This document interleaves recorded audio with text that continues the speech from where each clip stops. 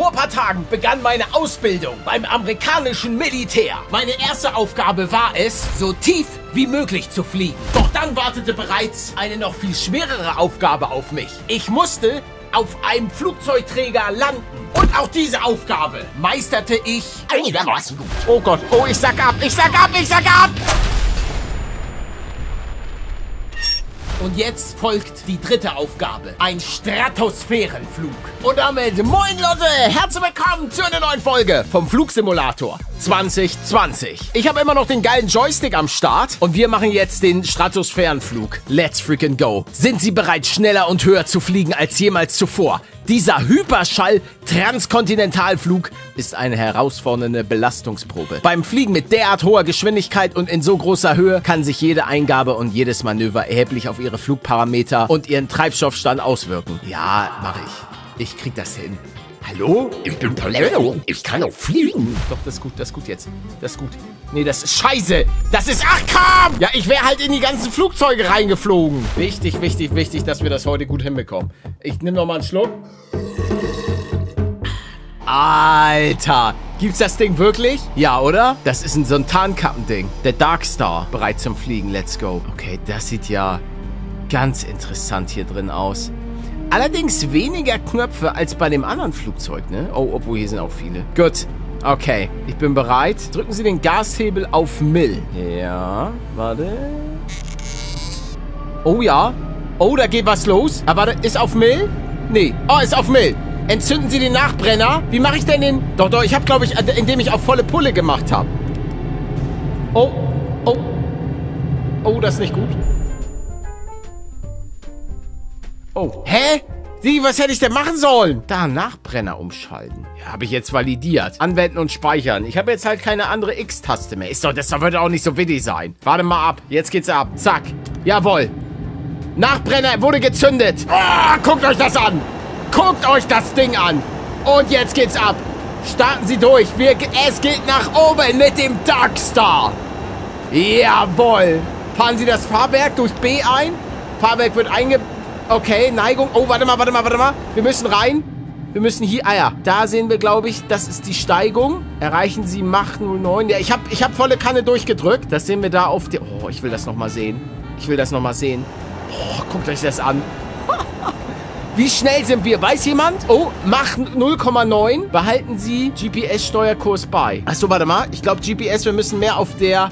Genau, auf der lilanen Linie. Das sehen wir da unten rechts. Da müssen wir ein bisschen mehr am Start sein. Okay, ja. So ist gut. So ist gut. Krass. Oh, bisschen wieder ausrichten. Komm, lass uns noch mal gucken. Lass uns noch mal gucken. Oh, das muss unglaublich sein, dieses Gefühl, wenn du da drin sitzt. Wirklich. Ich, ich finde ja Fliegen unfassbar faszinierend. Warte mal, kann ich denn hier drin auch ein bisschen gucken? Krass, man sieht hier kaum was. Weil wahrscheinlich ansonsten hier alles gefühlt explodieren würde, weil du irgendwann so schnell bist. Oh, ziehen Sie, ziehen Sie langsam nach oben. Oh, warte mal, wir, wir haben Mach, Mach 0,9 nicht mehr drin. Sind wir, warte. Oh, behalten Sie eine Neigung von 20 bei. Das ist jetzt 20. Perfekt. Oh, kleine Turbulenzen. Wir gucken noch mal raus. Wir sind gleich über den Wolken. Über den Wolken. Ei, ei, ei. Muss die Freiheit wo grenzenlos sein. okay, Konzentration. Ich frage mich, wie viel das Ding wahrscheinlich... Das kostet doch mehrere Milliarden Euro, dieses Flugzeug, oder? Das ist wahrscheinlich ein Prototyp. Oh, ich muss, ich muss mal gucken. Ich muss jetzt mal... Oh, geiles Ding. Geil, Alter. Das ist faszinierend. Oh, warte, warte, warte. Wir müssen kurz wieder wirklich Business machen. So, auf die 20 wieder zurück. Oh, oh, nee, nee, nee, nee, nee. Ich will ja die am Ring. Oh, nee. Rolle umgedreht? Okay. What? Jawohl, ich mach die Rolle. Ich mach den Rollmops. Perfekt. Halten Sie, warte, warte, warte, warte, warte. Halten Sie ein G beim Herunterziehen. Junge, ich weiß doch nicht. Okay, ich muss jetzt so. Okay, neigen Sie sich langsam. Unbeladene Rolle in aufrechte Position. Und wieder drehen. Okay, ich, ich sehe nichts, mir ist schwindelig. Okay, oh Gott, ich habe die, Kon hab die Kontrolle verloren. Oh. Ja, alles gut. Wir haben uns wieder gefangen. Oh, wir, wir sinken, wir sinken. Alles gut. Alle, und wir haben Mach 1. Erhöhen Sie die Neigung langsam auf 10 Grad. Okay. Oh. Jawohl. Und clear. Perfekt. Behalten Sie die GPS-Steuerung. Oh, wir müssen ein bisschen nach rechts.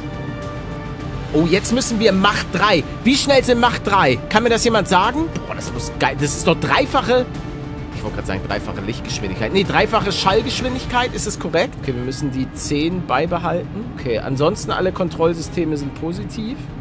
Wir müssen jetzt Macht 3 erreichen. Ah, unten links sehen wir den Airspeed, 1,51. Unser Airspeed geht auch hoch. Wir sind bei 1,68 mittlerweile. Gar nicht so leicht, diese Neigung von 10 beizubehalten. Okay, kurze, kurze Trinkpause. Wie trinken die eigentlich da drin? Die haben ja sicherlich so einen Schlauch oder so. Auch zum Pinkeln. Weil der pinkelt da ja nicht in eine Flasche. Kippt die um, Alter, auf die Instrumente. So, wir sind jetzt schon bei Macht 2. Wir gucken mal. Boah. Jetzt sind wir wirklich über den Wolken. Es ist, wirklich faszinierend. Oh, warte, wir müssen wieder umschalten. Das gibt es halt wirklich. Da sitzt dann jemand in, in einer, in so einer Blechbüchse, die Tausende von kmh schnell. Warte mal, ich, ich, ich guck, will mal kurz eine Sache nachgucken, weil ich hätte gern die genaue Zahl. Mach in kmh. Es ist einfache Schallgeschwindigkeit sind 1234,8 Kilometer pro Stunde. Also 1200 kmh. Wir fliegen hingegen aktuell 2,36. Also sind wir, wir, wir fliegen schon über 3000 kmh schnell. 3000 kmh. Das ist vollkommen crazy. In einer Blechbüchse und das Einzige, und dieser Raketen, da wird einfach Treibstoff verbrannt. Oh! Yo! Das knattert. Das knattert aber heftigst. Das, das, guck mal, warte, hört mal. Der, der Sound. Krass. Guck mal hier. Oh. Geiles Ding. Absolut geil. Da, da hinten ist auch der Mond. Wow. Und jetzt habe ich noch schön zwei dicke Atombomben dabei. Auch was für eine Präzision da gearbeitet. Also, versteht ihr, was ich meine? Da darf dir ja kein Fehler passieren. Bei 3000 km/h, wenn da irgendwie was falsch ist, Hitzeschild, whatever, Junge, das Ding exploded. Batz. Oh, und wir kommen auch langsam in eine ganz leckere Stratosphäre oder so. Das ist faszinierend. Das ist krass. Es tut mir leid, manche denken jetzt wahrscheinlich, was la, was will der Junge von uns? Ich für, ich für mich einfach fliegen. Mein Vater hat ja bei der Lufthansa gearbeitet. Es, es kommt manchmal in meinen eigenen Kopf nicht rein, wie, wie krass allein. Oh, wir haben, wir haben Macht 3. Scramjet-Übergang. Aktivieren Sie den unteren Lichtsignalschalter im Cockpit. Was für ein Lichtsignal? Oh, warte. Oh, krass. Mach ich. Ich drück. Signalleuchten. Aktivieren Sie die oberen. Okay. Okay, okay. Zack. Hab ich. Treibstoff. Oh, oh, warte. Welchen Schalter? Den hier. Zack, habe ich aktiviert. Okay, jetzt den Scramjet. Oh, jetzt. Was bedeutet Scramjet? Sehen wir das von außen? Zack, ist aktiviert. Und? Warten Sie, bis die Scramjets die volle Leistung erreicht haben. Boah, wir sind auf drei... Oh ja, wir sind jetzt fast bei Mach 4.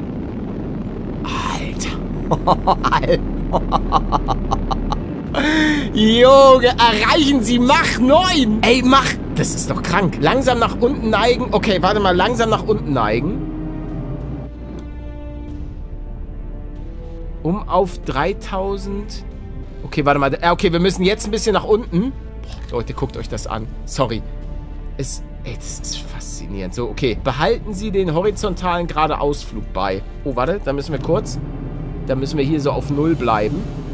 Ja, und jetzt auf Mach 9. Wir sind schon bei Mach 5. Absolut heftig. Erreichen Sie Cape Canaveral. Okay. Und da unten seht ihr es. Unten links. Der Airspeed 6,5. Leute, Leute, Leute. Guckt euch das an. Ja, wir sind jetzt schon bei Mach 8. Oh ja, guck mal. Man sieht auch, wie das, wie das Jet langsam an seine Grenzen kommt. Wir haben glücklicherweise Hitzeschilde. Aber das glüht hier alles. Junge. Und wir haben Mach 9. Ah ja, guck mal, 36.000 haben wir. Wir haben Mach 9. Geil, Junge. Jetzt ist die Aufgabe, Cape Canaveral zu erreichen. Das ist doch da, wo dann auch die die Raumschiffe und so weiter starten, oder nicht? Was ich mich frage, wie wird man so ein Pilot? Also du gehst dann zum Militär und das, da werden ja dann wirklich nur die allerbesten der Besten dürfen so ein Flugzeug fliegen, so diese Geheim, Geheimsachen. Und wie sagst du das deiner Frau? Lügst du die an? Sagst du dann, ja, ich, ich fliege so ein ganz normales Flugzeug? Aber in Wirklichkeit fliegst du so die geheimen Area 51-Dinger? Oder sagst du ihr, ja, ich, ich habe da so ein geheimes Superprojekt, aber du darfst nichts sagen. Weil wenn, wenn ich was sage, dann muss ich dich umbringen. Wie weit ist denn das noch bis Cape Canaveral? Hallo? Oh. Wann, wann sind wir da? Hallo? Die, die Leute haben schon alle Feierabend gemacht. Jetzt kurz ein bisschen TikTok scrollen. Hier so Ja, machen wir. Wo ist mein Handy? Perfekt. Ich gucke mir natürlich ein paar YouTube Shorts an, Alter. Leute, ey, ganz ehrlich. Wenn ihr Bock habt auf weitere Folgen, schallert gerne den Like rein. Also Flugsimulator ist mal wieder absolutes Fest. Es fehlt nur noch, dass wir hier so ein paar saftige Bomben an Bord haben. Das Gute ist, wir steigen auch langsam. Wir sind immer noch auf gutem Kurs. Ah ja, guck mal, jetzt können wir hier... Warte mal. Ah, da können wir richtig auf den Boden zoomen. Ja, ja, guck mal hier. Oh, was sind Abdeckungen? Engine Reset, Generator. Oh, wir haben auch nur noch 55% Fuel. Windschutzscheibenenteisung. Stell dir vor, du stehst da unten irgendwo und siehst plötzlich am Himmel so ein Flugzeug. Du denkst ja auch, ah, alles klar. Das Krasse ist auch, wir überqueren gerade die kompletten Vereinigten Staaten. Im Westen sind wir gestartet. Oh, warte mal, wir haben den GPS-Steuerkurs nicht mehr. Und landen dann in Cape Canaveral. Ich weiß nicht ganz genau, in welchem Bundesstaat das ist, aber es ist auf jeden Fall komplett im Osten. War ist Cape Canaveral nicht so Florida-mäßig? Ich glaube schon. Warte mal. Hey Siri, wo ist Cape Canaveral? Hier ist die Adresse auf der Karte. Ah, ja, ist in Florida. Oh, irgendwas, irgendwas taucht, taucht auf der Karte auf. Seht ihr das? Da ist irgendwas auf meinem Radar. Da, seht ihr das? Da, da, da unten. Was ist das? Ein anderes Flugzeug?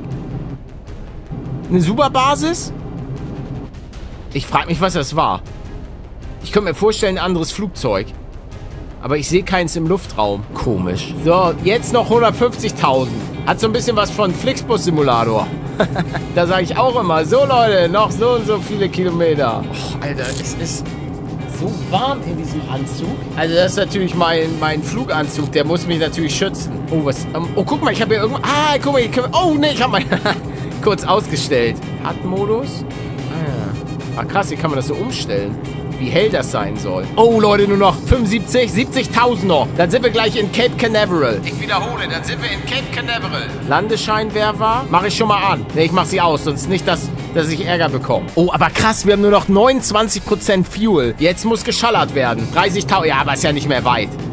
Also, das sollte ja wunderbar klappen. Jetzt nochmal eine professionelle Landung und dann läuft das. Da braucht ist wieder Fingerspitzengefühl gefragt. Oh, da, da, da ist schon wieder irgendwas auf unserem Radar.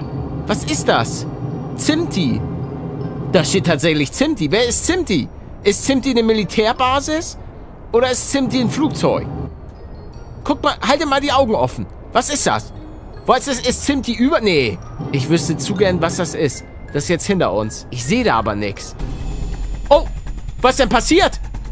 Was? Sie haben das Flugzeug überbelastet und kritischen Schaden verursacht? Was? Ich habe doch gar nichts gemacht. Nein, ich muss jetzt nicht alles nochmal machen. Nein, nein, nein, nein, nein, nein, nein, nein, nein, nein, nein, nein, nein, nein. Bitte, bitte, Spiel. abbrechen. Das kannst du mir nicht antun. Ich bin eine halbe Stunde geflogen. No front. Aber ich, ich mach das nicht normal. Ich sitze da die ganze Zeit nur... Bitte, lass mich doch die Landung machen. Flugdauer 35 Minuten. Ja, ich weiß 35 Minuten.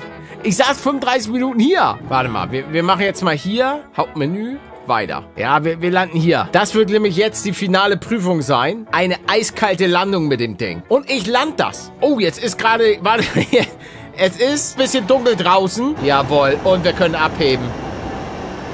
Fahrwerk einfahren. Sehr gut. Warte mal, warte mal, warte. Reise nach. Land Landeanflug. So. Oh, bitte lass es jetzt Tag sein. Ey, es ist abgestürzt. Hallo? Wisst ihr was, Leute? Das ist ein Zeichen. Ich höre auf. Ich kann das nicht. Ich möchte nicht fürs Militär arbeiten. Ich werde mich bei der Lufthansa bewerben. Für die möchte ich arbeiten. Da, wo schon mein Vater gearbeitet hat. Lufthansa, ruft mich an. Ich bin bereit. Ich, ich sage dem, sage dem, äh, dem amerikanischen Militär Goodbye. Und für, für heute muss ich euch auch leider Goodbye sagen. Tut mir leid, dass wir jetzt hier so eine saftige Landung nicht mehr hinbekommen, aber der Kram stürzt irgendwie ab. Keine Ahnung warum, weshalb. Ey Leute, ich hoffe, ihr hattet trotzdem eine gute Zeit bei dem Video. Falls ja, schallert gerne den Like rein. Wie gesagt, das nächste Mal möchte ich ganz gerne für die Lufthansa arbeiten. Vielleicht so eine dicke Boeing, einen fetten Airbus fliegen. Das könnte ganz geil sein. Wenn ihr da Bock drauf habt, schallert gerne den Like rein. Falls ihr noch geile Missionen für das Spiel kennt, weil es gibt, glaube ich, so ein paar Sachen, wo du so bei verrückten Flughäfen und so landen musst, also auf so einer krassen Landebahn, schallert die Infos rein. Danke fürs Zusehen, euch noch einen schönen Tag, haut rein. Ciao, ciao!